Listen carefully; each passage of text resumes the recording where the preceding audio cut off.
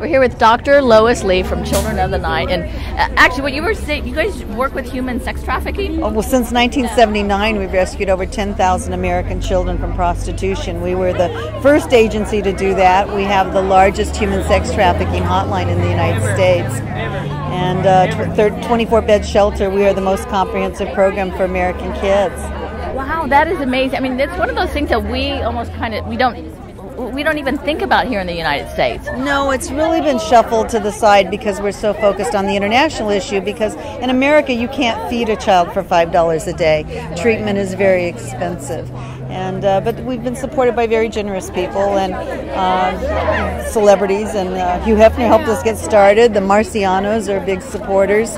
Um, I like your idea because you're helping people here in the United States, yes, right? Yes. Which I love because everybody's, like you said, is so focused internationally. Yes. But what is the best way for people to help and become more aware of it? Well, you can volunteer, you can donate, and go to our website, childrenofthenight.org. All the information is there, and uh, you just you, you, can't get involved enough. And and we've got a lot of new programs we're starting up, and we're looking for volunteers to place in shelters all over the United States. So there's all kinds of opportunities. Well, that is awesome. Is is there anything that if people see they should make them aware of to find out more information?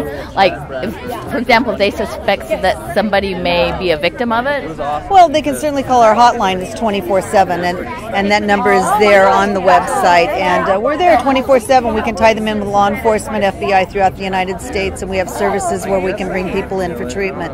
And uh, I think that that's probably important. But let's not forget where child prostitutes come from. They come from their homes, and many of them were raised in crack houses. And we should be paying attention to high risk children that are little. Thank you so very much. And if people want to catch up with you on the internet for more information, where's the best place to go? Childrenofthenight.org. Thank you very much. Thank you. That's all right. It's all right. I hope she doesn't either. We won't show, right?